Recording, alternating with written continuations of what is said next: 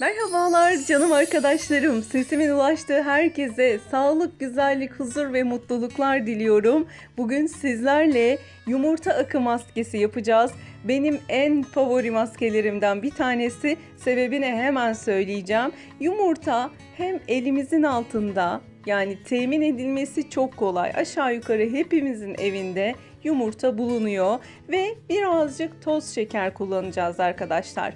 Sevmemin diğer nedenlerinden bir tanesi de cildi gerçekten besliyor. Ben bu maskeyi ilk olarak geçen sene yapmıştım arkadaşlar. Ee, denedim. Çok bir beklentim yoktu açıkçası.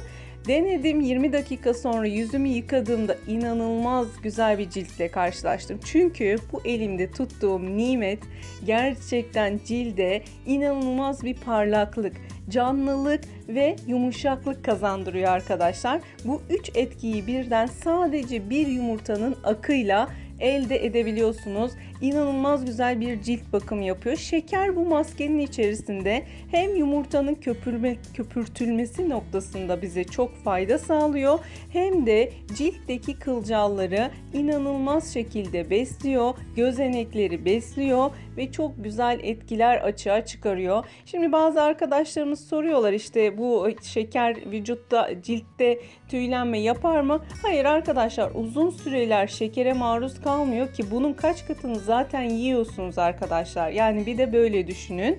Şimdi e, hemen yumurta sarımı şöyle ayırıyorum. Bunu da birazdan şöyle azıcık bir tereyağı ile pişirip yemeyi düşünüyorum arkadaşlar. Bize sadece yumurtanın beyazı lazım. Yumurtanın beyazının içerisinde inanılmaz besleyici bileşikler var arkadaşlar. E, cildi hem geriyor e, parlaklık vermesinin en büyük sebebi zaten cildi germesi, kırışıklıkları açması. Yani inanılmaz güzel etkileri var. Göz çevresinde özellikle çok büyük etkilerini gördüm. Görmeye de devam ediyorum. Şimdi şöyle kabımın içerisine yumurta beyazımı ve bir yemek kaşığı toz şekerimi ilave ettikten sonra robotumla bir güzel çırpıyorum arkadaşlar. Burada çırpma işlemi birazcık önemli. Bunun da sebebi e, yumurtayı çok güzel e, katı bir köpük kıvamına getirmemiz. Yani bazı arkadaşlarımız bu çırpma aşamasında birazcık sabırsız davranıyorlar. E, o zaman maske yüzümüzden akar arkadaşlarım. O yüzden lütfen güzel bir şekilde çırpalım maskemizi ve e, dediğim gibi koyu bir e, köpük kıvamı yani krem şanti kıvamına getirelim arkadaşlar. Sıvı olmayacak kesinlikle tamamı köpük şekline gelmiş olacak. Bu yüzden e, çırparken dediğim gibi birazcık sabırlı e, davranalım. Güzel bir şekilde yumurtamızı çırptıktan sonra bakın işte bu kıvam size anlatmak istediğim.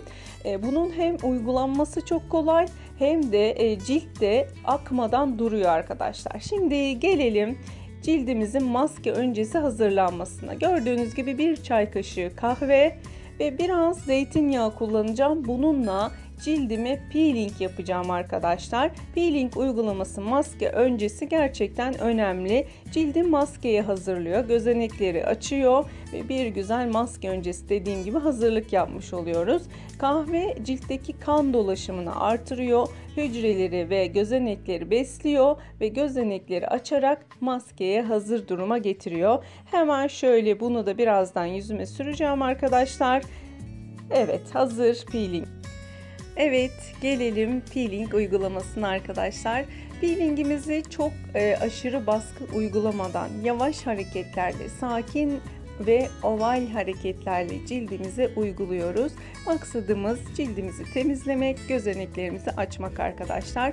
Kılcal damarları çok belirgin olan, e, aşırı cilt hassasiyetine sahip arkadaşlarıma bu uygulamayı önermiyorum arkadaşlar. Normal ciltli arkadaşlarım da dediğim gibi sakin hareketlerle lütfen bunu yapsınlar. Bir güzel alın bölgemize, göz altlarımıza dikkat ederek e, uyguluyoruz arkadaşlar. Kahve aynı zamanda siyah noktalardan da cildin arınmasında bize inanılmaz yardımcı oluyor. Şimdi bunu şöyle bir 5 dakika falan yaptıktan sonra e, ılık suyla yıkıyoruz arkadaşlarım. Bir temizleme jeli de e, ya da temizleme köpüğü de kullanabiliriz. Ondan sonra yüzümüzü bir güzel yıkayıp maskemize geçiyoruz. Ve şimdi gelelim maskemizin cilde uygulanmasına. Bir fırça yardımıyla bu maskeyi cildimize rahatlıkla uygulayabiliriz arkadaşlar. e, dediğim o krem şanti kıvamını yakaladıktan sonra maskenin uygulanması gerçekten çok basit hale geliyor. Akma, dökülme herhangi bir şey olmuyor arkadaşlarım. Maskeyi cildinize e, her şekilde uygulayabilirsiniz. Yani göz altına, göz üstüne bu maske e, kaşlarımızı da çok besliyor. Haberiniz olsun. İnanılmaz parlak ve gür çıkmasını sağlıyor bir müddet sonra. Dediğim gibi bir yıldır kullanıyorum maskeyi. E, bir güzel sürüyoruz. E, özellikle kaz ayaklarında, göz çevresi kırışmalarında inanılmaz başarı sağlıyor arkadaşlarım. Benim sizlere anlatacaklarım bu kadar. 20-25 dakika hatta yarım saat durdurabilir, ılık suyla yıkayabilirsiniz. Videoyu beğenmeyi ve kanalıma abone olmayı unutmayın. Sizleri çok ama çok seviyorum.